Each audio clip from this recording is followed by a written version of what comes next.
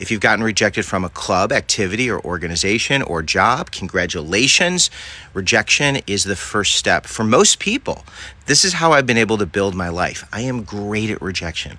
I get curious when I get rejected. I don't take it personally maybe just a little bit at first, but then I get really curious because rejection is an opportunity for you to build relationships with the people doing the things you want to do. The example of, let's say, an a cappella group, someone messaged me that they didn't get into the a cappella group. They, they really love singing. And my answer is, talk to the people who run that organization thank them for the opportunity to audition, ask them what you can do over the next year. You might discover there were more seniors than ever, more juniors, or maybe another group merged with another group, whatever it is. You'll you'll get information. And then you can decide maybe I want to maybe you want to start your own a cappella group because if a lot of people didn't get in, there's probably a lot of people who want to sing. Maybe it could be like a first year a cappella group and everybody gets to sing. Or or you can ask if you can help with the organization. Maybe do advertising, bring equipment, do something where you can still participate, not as someone who's singing, but as someone who's supporting the group. And then eventually someone gets sick, someone doesn't show up.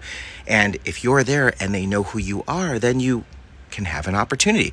This is how I became a columnist, the Indiana Daily Student. I was writing these editorials, and a columnist didn't show up. And the editor, uh, Tony Jewell, was sitting across the desk, and he goes, Hey, Cohen, do you write columns? And I go, Sure. And in my head, I'm like, Now I do. But it was because I was doing something and I was in a place surrounded by people, and that really is what launched my, my writing career. So if you get rejected, get curious. Get curious. Don't take it personally. Get curious. Figure out if there's anything you can do to change the outcome. Meet the people who are doing the things you want to do. This is a long game, and especially if you're a first year student, there are so many schools where it's so hard to get access to these groups.